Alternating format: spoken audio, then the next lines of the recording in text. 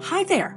In this video, we'll walk you through how to connect to your VPS or server using your iPhone or iPad. The old remote desktop app for iOS has been retired and replaced by Windows App Mobile.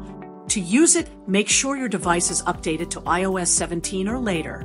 Start by heading to the App Store and downloading Windows App by Microsoft.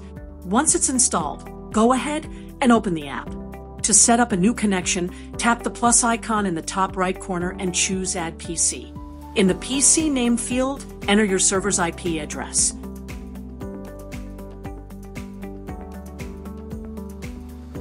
Then, tap the back arrow to return to the main Add PC screen. Next, you'll need to add your login credentials.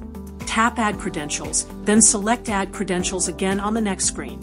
Enter your VPS username. And for the password, it's best to copy it directly from your Chart VPS portal and paste it here. This helps avoid any typos that might cause login errors.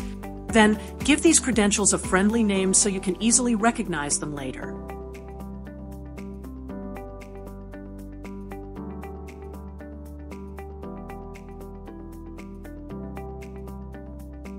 Back on the Add PC screen, you'll now see your server's IP and the credentials you just saved.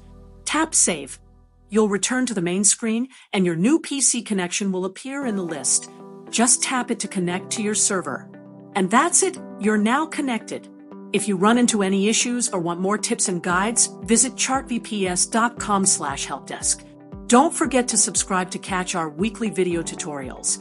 Thanks for watching, and we'll see you in the next one.